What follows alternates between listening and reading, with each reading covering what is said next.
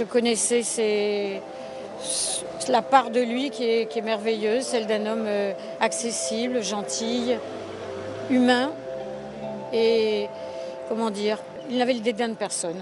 Il était plus propre.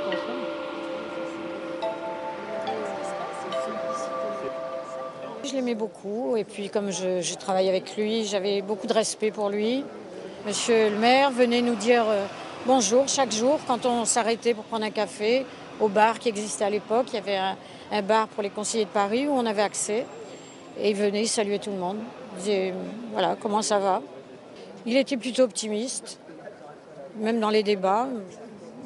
Il y avait de la joyeuseté, mais à l'époque voulait qu'on permettait qu'il y ait de la joyeuseté. Maintenant, ça serait mal vu, je pense. Un mot qui, qui, pourrait être mal interprété, la bonhomie, enfin euh, l'élégance joyeuse.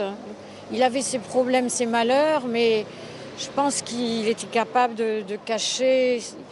Il n'avait pas de méchanceté, à mon avis. Il avait des adversaires, mais pas d'ennemis. Enfin, à mon avis. Je me rappelle euh, quand je suis arrivée à, Paris, que j'ai passé le, concours, parce que j'ai passé le premier concours d'attaché de la ville de Paris, qui n'existait pas avant. J'arrivais de ma province, hein, j'avais- j'étais logée chez quelqu'un à Paris. Et je n'avais pas les moyens de me loger n'importe où non plus, j'avais qu'un petit emploi avant. Et je suis allée voir sa secrétaire, elle a dit bon, bon, on va voir avec le monsieur le maire. Puis j'ai eu un petit appartement.